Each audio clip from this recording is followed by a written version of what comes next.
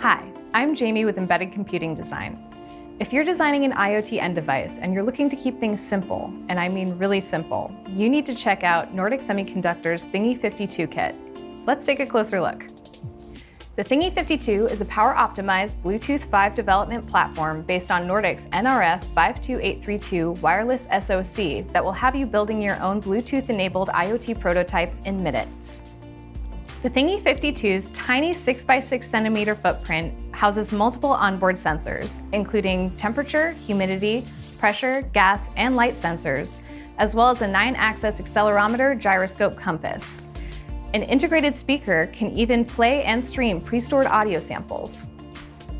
The Thingy52 allows IoT developers to push software and firmware updates remotely to the device using a Bluetooth API.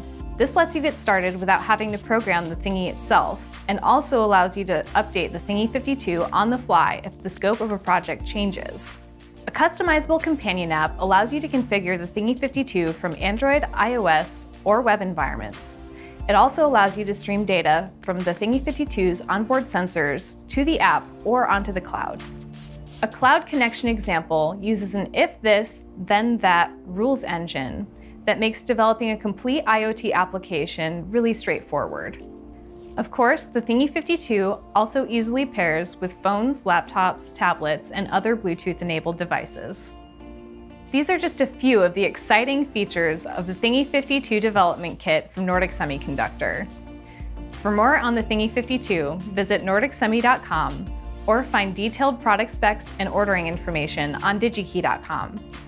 I'm Jamie with Embedded Computing Design. Thanks for watching.